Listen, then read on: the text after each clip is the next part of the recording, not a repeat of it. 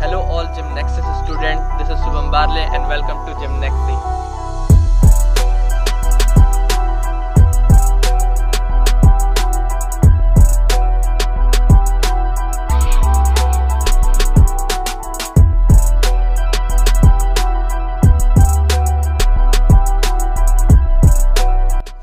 हमने front flip का level one already cover किया हुआ है, जिसमें हम थ्री एक्सरसाइज बताए हुए हैं, ठीक है? तो आप सबसे पहले वो वीडियो देख सकते हैं जो भी इस वीडियो में अभी नए आए हैं, ठीक है? तो मैं उनके लिए बता रहा हूँ, वो वीडियो आप पहले देखें और लिंक आपको डिस्क्रिप्शन में मिल जाएगा और उसके बाद आपको इस वीडियो पे आना है। तो आज फ्रंट फ्लिप के लेवल टू में हम करने वाले हैं सबसे पहले डाइव रोल, ठीक है? डाइव रोल हम सीखेंगे और इसका मैं बेसिक्स बताऊँगा और ये क्यों करते हैं ये भी मैं बताऊँगा और फ्रंट फ्लिप में कैसे हेल्प हो सकता है ये भी मैं बताऊँगा, ठीक है? तो सबसे पहले मैं आपको करके दिखाता हूँ, उसके बाद मैं आपको पूरा इसका कॉन्सेप्ट समझाऊँगा।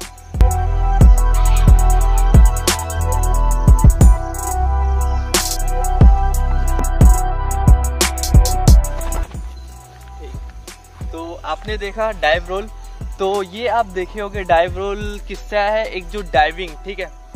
डाइविंग जो एक स्पोर्ट है, ठीक है? जिसमें हम जंप करके फिर सीधा पानी पे डाइव करते हैं, ठीक है? लेकिन उसमें क्या करते हैं, हम फ्लिप्स करते हैं और उसके बाद डाइव करते हैं। लेकिन उसका बेसिक्स क्या होता है, ठीक है? उसका जो लैंडिंग जो होता है, वो डाइव से ही होता है। आप फ्लिप करो और सीधा डाइव में अंदर जाना होता है, ठीक है? अगर आप फ्लैट गिरोगे, किसी मतलब स्विमिंग पूल में फ्लैट गिरोगे तो आपको लगेगा, ठीक है? तो हमेशा जब भी स्टार्ट करते हैं स्टार्टिंग उनका वही होता है कि जंप और फिर डाइव डाइव करना बताता है और फिर उसके बाद ही फ्लिप ऐड करते हैं, ठीक है? तो जिम्नास्टिक में जो डाइव रोल का कॉन्सेप्ट है, ये है बिल्कुल एमरजेंसी केस का, ठीक है? जो मेरा कॉन्सेप्ट है, मैं क्यों कराता हूँ ये? ताकि अगर आप फ्रंट फ्लिप कर रहे हो, ठीक है? फ्रंट फ्लिप किए और अगर ये रोटेशन लिए ऐसा और यहीं पे छूट गया आपका रोटेशन ठीक है? या तो आपको समझ ही नहीं आया कि मैं किस मूवमेंट में हूँ, ठीक है? और कई बार क्या होता है कि हम रोटेशन किए ये, जैसे मैं यहाँ से फ्रंट फ्लिप किया रोटेट किया, पूरा घूमा और ये लैंडिंग आ ही रहा है, लेकिन कई लोग का क्या होता है कि ना ओवर चले जाते हैं। तो उस टाइम डाइव रोल काम आता है, ठीक है? अगर आपका, चलो ओवर निकल गया, फिर आप क्या करोगे? हाथ रखोगे नहीं तो सीधा मुँह पे आओगे, ठीक है? तो इसी में क्या होता है कि आपको डाइव रोल करना होता है। ऐसा तो मुझे भी ये चीज़ बहुत प्रॉब्लम आया था, जब मैं स्टार्टिंग फ्रंट फ्रंट फ्लिप सीख रहा था तो मैं क्या करता डबल डबलमेंट बहुत ज़्यादा होता था मैं, ठीक है? मैं फ्रंट फ्लिप आधा घूमा और फिर पूरा बॉडी खोल देता। तो उस टाइम क्या डाइव रोल मेरा काम आता था।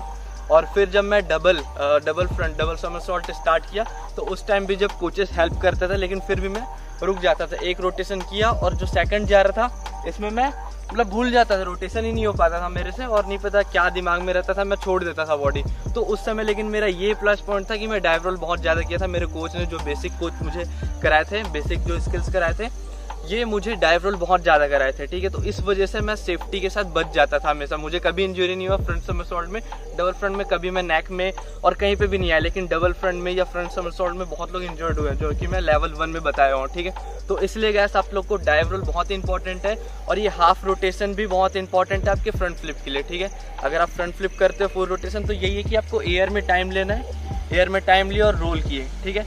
यही चीज़ है। और जब आप फ्रंट फ्लिप कंप्लीट करोगे तो यही है एयर में टाइम रोटेशन देन लैंडिंग ठीक है? तो ये बेसिक्स है जो आपको करना है और मैं आपको बताऊँगा। ठीक है? तो स्टार्ट करते हैं। गैस आपको डाइव रोल सीखने के लिए सबसे पहले तो वार्म अप की बहुत ही ज़रूरत है। जो मैं warm up full body warm up बनाया हूँ, उसका वीडियो आप देख सकते हैं, ठीक है? और उसके बाद वार्म अप जैसे ही कर लेते हैं, आपको एक सॉफ्ट सरफेस में, जैसा मेरे पास तो अभी योगा मैट है, ठीक है? आप देख सकते हैं, अभी मेरे पास योगा मैट है, लेकिन आपको क्या करना है? आप थोड़ा सॉफ्ट मैट जो कि आपके गद्दे होते हैं, ठीक है? इसका यूज़ करो आप, रेत में भी मत करो, मैं तो गद्दे को, गद्दे का अलाउ करता हूँ आपको, ताकि आप क्योंकि सीख रहे हो, मुझे तो आता है तो मुझे टाइमिंग पता है कि हाँ कब रोल कर करना है, लेकिन आप अगर फ्लोर में कर तो आपका हेड लगेगा या हाथ में झटका आएगा तो ये सब चीज़ होने वाला है तो इसलिए आप पहले सेफ़ रहो बिल्कुल दो तीन मैट ले लो अपने घर के मैट ले लो अपने बेड में और दो एक्स्ट्रा मैट डाल लो और वहाँ पे कर सकते हो और नीचे पे रखो, ठीक है? मैट नीचे पे रखो, बेड के ऊपर करोगे, पता चला बेड ही टूट गया, ठीक है? फिर आपको घर में फिर अलग सा पड़ेगा।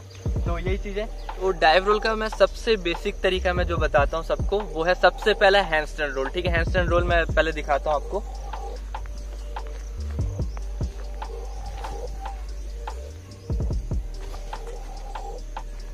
तो हैंड स्टैंड रोल में क्या होता है कि वैसे तो आप बिना हैंड स्टैंड रोल के भी कर सकते हो, लेकिन मैं दिखाता हूँ, देखो, बिना हैंड स्टैंड रोल अगर मैं करता हूँ और रोल डायरेक्टली करता हूँ, ठीक है? तो क्या होता है? ये देखो, ये चीज़ सेम ठीक है? क्योंकि इसमें ये है कि मेरा हाथ पे जब वेट आया, ठीक है, हाथ में वेट आया जैसे ही, और मैं हेड इन नहीं कर पाया, क्योंकि मुझे कॉन्सेप्ट पता ही नहीं है, ठीक है? लेकिन यही होता है, अगर जब हैंड स्टैंड करोगे, ठीक है, यहाँ पे आप होल्ड करो, या तो वॉल के साथ हैंड स्टैंड कर लो, पहले वॉल के साथ होल्ड कर लो, और फिर वॉल से आप रोल सीख जाओ ताकि आपको हाथ बैंड करके हेड इन कैसे करना है, ये आपको समझ आ जाए सबसे पहले। तो हैंड स्टैंड रोल देखो मैं हाथ यहाँ पे रखा हैंड स्टैंड एंड देन बिल्कुल सॉफ्ट रोल जिसमें कि मेरा नेक टच नहीं हुआ। और डाइव रोल में नेक जब जब भी आप फ्रंट रोल करते हो, उसमें आपका नेक टच नहीं होना चाहिए मतलब कि नेक नहीं, आपका ये बैक हेड है ना, ये टच नहीं होना, इसको बचाना है, ठीक है? तो इसलिए मैं हैंड स्टैंड रोल का ट्यूटोरियल भी बनाया हूँ, जो आपको लिंक डिस्क्रिप्शन में मिल जाएगा, वहाँ पे आप देखो सबसे पहले, और उसके बाद हम आगे का मूवमेंट करते हैं। तो हैंड स्टैंड रोल के बाद डाइव रोल बहुत ही ईजी हो जाता है। लेकिन अगर आप हैंड स्टैंड रोल नहीं किए हो और फॉरवर्ड रोल अगर नहीं सीखे हो तो आपके लिए डाइव रोल बहुत ही टफ होने वाला है और आपको इसमें ही इंजरी हो जाएगा, ठीक है?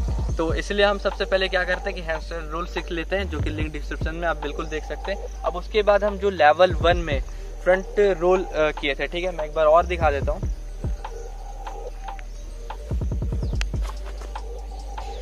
तो ये है फ्रंट रोल अब इसी के साथ क्या ऐड करना हम लोग को? मैं ये बताता हूँ आपको.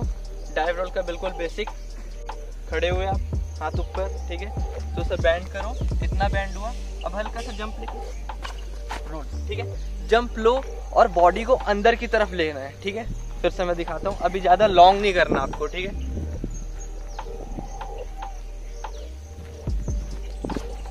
ठीक है? अब देखे कि जब भी मैं जंप किया ना, मेरा एक नैनो सेकंड के लिए मेरा लेग्स उठा है और हाथ भी हवे में था, ठीक है? हाथ भी हवे में था और दोनों बॉडी एयर में था, ठीक है? अब इसके बाद मैं रोल किया। फिर आप देखो, एक बार मैं दिखाता हूँ। ये हुआ। देखो, मैं कैसे अंदर की तरफ़ रोल कर रहा हूँ। मेरा हेड टच नहीं हो रहा है इसमें। अब क्या करूँगा मैं? थोड़ा सा जब मुझे कॉन्फिडेंस आ जाएगा, ये रिपीट करते रहूँगा रिपीट करते रहूँगा तो मुझे क्या कॉन्फिडेंस आने लग जाएगा? मुझे टाइमिंग जमने लग जाए कि हाँ भाई, इतने हाइट के साथ मैं कैसे इजिली रोल कर पा रहा हूँ और मुझे लग भी नहीं रहा अब मैं बताता हूँ आपको, थोड़ा सा आगे का मूवमेंट ठीक है? जब मुझे अच्छा कॉन्फिडेंस आ जाएगा, मैं यहीं पे खड़े रहूँगा, अब हल्का सा मैं हाइट गेन करूँगा, ठीक है? तो क्या होगा?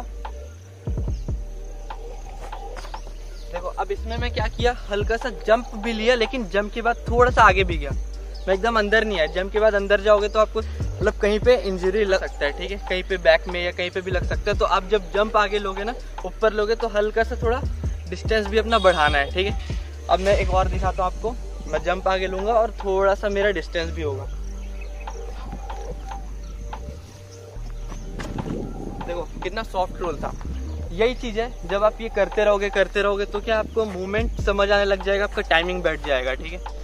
आपको मैं एक और की पॉइंट देता हूँ। की पॉइंट क्या है हमारा? जब भी आप डाइव रोल करोगे, आपका हाथ कभी स्ट्रेट नहीं आना चाहिए इसमें, ठीक है? हाथ स्ट्रेट नहीं और एकदम टाइट नहीं। हमेशा ये थोड़ा लूज बिल्कुल सॉफ्ट जैसे ही आपका गया बिल्कुल सॉफ्ट चलना है, ठीक है? अगर आप जंप लेके हाथ एकदम स्ट्रेट लेते हो, ये चीज़ तो आपका झटका आएगा एल्बो में पेन रहेगा और फिर रिस्ट में भी इंजरी हो सकता है। तो इसलिए आप जब भी करो, देखो मैं एक स्लो दिखाता हूँ। यहाँ पे बैठा, जैसे ही मैं हाथ रखूँगा बैंड करके आराम से रोल। तो यही चीज़ होगा। अब क्या है कि मैंने आपको यहाँ तक बता दिया था, मैं एक और दिखाता हूँ। खड़ा हुआ मैं यहाँ पे, हाइट भी ज़्यादा लूँगा और थोड़ा लॉन्ग भी जाऊँगा, देखो। ठीक है? ये हुआ। अब मैं आपको बताता हूँ इसका नेक्स्ट स्टेप क्या करना है, क्योंकि आपको तो खड़े खड़े नहीं करना है, ठीक है? आपको रनिंग करना है तो रनिंग कैसे होगा? अब ये मैं आपको बताता हूँ। जैसे यहाँ पे हुए, हल्का सा स्टेप लो, ठीक है?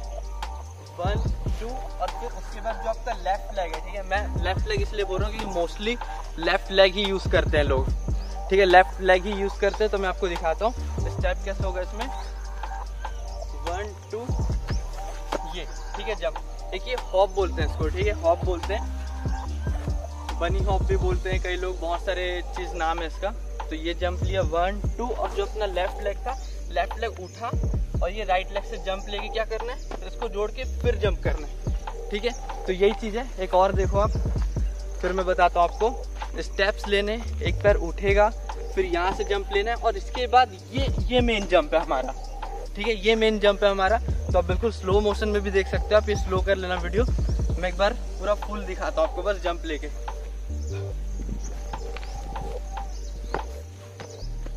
ये जंप बहुत इंपॉर्टेंट है आपके लिए, ठीक है? एक दो बार और करता हूँ मैं, आपके माइंड में ताकि आए। अब बार बार देखो ये चीज़ तो आपको अच्छे समझ आएगा। तो आप देख सकते हैं कितना इजी जंप है ये। तो बस कॉन्सेप्ट के साथ करोगे, आपको टाइमिंग बैठ जाएगा ये अच्छे से। और अगर फिर भी आपको ये चीज़ अच्छे से नहीं आता तो मैं इसको और भी बेसिक मूवमेंट के साथ बताऊँगा अगर आपका जंप ही अच्छा नहीं है तो बेसिक पूरे स्किल्स के साथ मतलब बेसिक जो है ना इसका ड्रिल्स है, वो पूरा मैं आपको बता दूँगा, ठीक है? लेकिन अभी इसमें ज़्यादा वो नहीं करते, मुझे लगता है कि आप लोग सीख जाओगे, लेकिन नहीं सीख पाते तो आप मुझे बताना कमेंट करके। अब इसके बाद हम ये जंप के साथ डाइव रोल ऐड करेंगे। तो हमारा जो अभी रनिंग के साथ जो डाइव रोल करना है तो ये इसका मैं बेसिक बताता हूँ। सबसे पहले आपको क्या करना है? रनिंग तो आपका हो गया था, अब क्या करना है? बिल्कुल स्लो मूवमेंट कोई आपको स्पीड नहीं करना है कोई कुछ नहीं करना है बिल्कुल आराम से one two three jump and roll. ठीक है? मैं देखो कितना इजली स्टेप्स लिया जंप किया रोल किया। तो अभी बस आपको स्टेप्स अपने माइंड में बैठाना और स्टेप्स बस कॉपी करना है, ठीक है? स्टेप्स बस आपको मतलब अपने माइंड में पूरा ही आपको पता रहना चाहिए। आपका स्टेप कभी मिस नहीं होना चाहिए, क्योंकि बहुत लोग का ये होता है कि रनिंग करते हैं और रनिंग करते साथ जंप जैसे करते हैं, उनका स्टेप ही भूल जाते हैं कौन सा पैर उठाना है। तो ये आपको हैबिट बनाना है स्लो करो स्पीड नहीं करो, ठीक है? स्लो करो और मूवमेंट कैप्चर करो। फिर से मैं दिखाता हूँ एकदम स्लो में। बिल्कुल आराम से वन टू थ्री ठीक है? बिल्कुल ऐसी ये चीज़। अब जैसे ये आपका स्लो बहुत रेपिटेशन करते करते रहोगे तो आपको क्या माइंड में बैठना चालू हो जाएगा? फिर आपको क्या करना है? ऐसे स्लो में ही थोड़ा हाइट लेना है, ठीक है? अब आपको बताता हूँ मैं।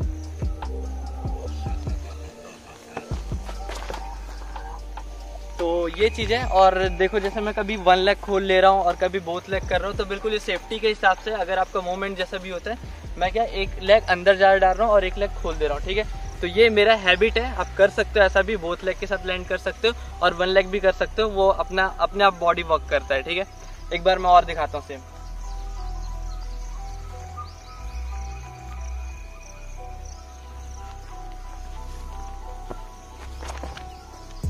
तो ये चीज़, अब जैसे आपने देखा कि मैं स्लो रनिंग के साथ थोड़ा सा हाइट बढ़ाया और थोड़ा लॉन्ग किया और ऐसा डाइव रोल किया अब जब आप ये मैक्सिमम करने लग जाओगे, इसमें भी आपका हैबिट बनना चालू हो जाएगा। मैक्सिमम करते रहो, ऐसा नहीं कि आप एक दिन किए और फिर अगले दिन ही नेक्स्ट मूवमेंट में जाओगे, ऐसा नहीं। आपको कम से कम एक जो मूवमेंट है, वो आपको चार पाँच दिन, एक हफ़्ते तक चलाना है, ताकि आपका ये हैबिट डेवलप हो जाए, ठीक है? इसके बाद आपको आगे जाना है, थोड़ा सा लेवल अप करना है। अब मैं थोड़ा स्पीड रनिंग के साथ आपको दिखाऊँगा।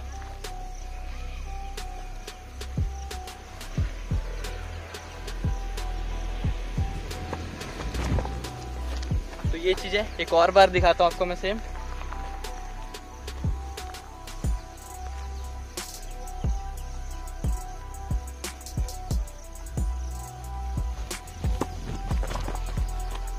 तो देख सकते हैं आप कितना स्मूथ था और एकदम मैं ग्रास में कर रहा हूँ, मुझे कोई दिक्कत नहीं हो रहा, कहीं पे भी इंजरी नहीं हुआ और बिल्कुल सेफ़ हूँ। तो ये करते करते होगा, ठीक है? जब आप करने लग जाओगे तो आप भी कहीं पे भी बाहर में ऐसा सॉफ्ट सरफेस जो थोड़ा सा हार्ड एंड सॉफ्ट दोनों है, ऐसा ग्रास में भी कर सकते हो आप।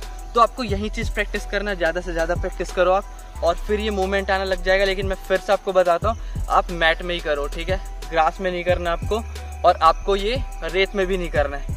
आपको करना है तो बिल्कुल दो तीन मैट लगाओ और इसमें करो ताकि मुझे आपका सबसे पहले सेफ्टी ठीक है जिमनेक्सी में जो भी स्टूडेंट है जिमनेक्सी से जो भी स्टूडेंट बन रहे ये बिल्कुल सेफ़ रहे, कहीं पे भी इंजरी नहीं आना चाहिए इनको, कुछ भी करते वक्त। तो मैं जो बोलता हूँ आप करो बिल्कुल तो आपको इंजरी नहीं होगा और बिल्कुल सेफली आप बहुत अच्छे अच्छे स्किल्स सीखोगे, जैसे कि मैंने किया। मैंने बहुत अच्छे अच्छे स्किल्स सीखे और बिना इंजरी मुझे कहीं पर भी कभी इंजरी नहीं हुआ और कहीं पर हाथ नहीं टूटा, पैर नहीं टूटा स्पाइन कभी ब्रेक नहीं हुआ कुछ भी नहीं हुआ इवन मैं बेहोश भी नहीं हुआ कभी, मैं कहीं पे लगा और गिर गया और बेहोश हो गया, ऐसा भी नहीं। तो हमेशा सेफ़ साइड और बेसिक के साथ चलोगे तो आप बिल्कुल सिक्योर एंड सेफ़ रहोगे, ठीक है?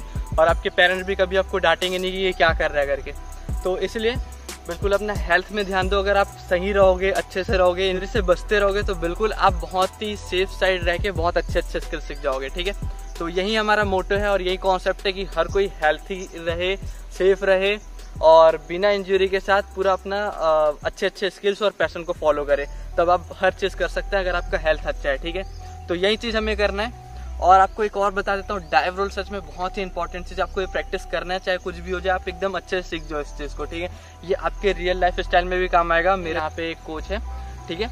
तो उनका जब एक्सीडेंट हुआ था वो बाइक से जा रहे थे स्पीड में थे बारिश हो रहा था ठीक है? अचानक से ही आ, कार क्रॉस किया और उनका क्या हुआ बाइक में वो हिट किए कार के बीचों बीच ठीक है? और उनका जो फोर्स इतना ज़्यादा था कि वो ऊपर मतलब ऊपर ज़्यादा वो थ्रो आउट हो गए।